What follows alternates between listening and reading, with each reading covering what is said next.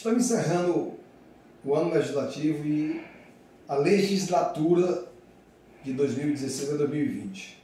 E hoje eu tenho aqui a grata satisfação de, na última sessão ordinária da Câmara, desse mandato, ter sido aprovada duas leis de nossa autoria. A primeira trata de uma lei de proteção à criança e ao adolescente, que seja obrigada em todos os impressos da Secretaria Municipal de Educação do município seja colocado, disponibilizado o Disque 100. O Disque 100 é aquele número que você liga para denunciar abuso, tentativa de abuso às nossas crianças, aos nossos adolescentes, enfim. É uma lei que ajuda a proteger as crianças.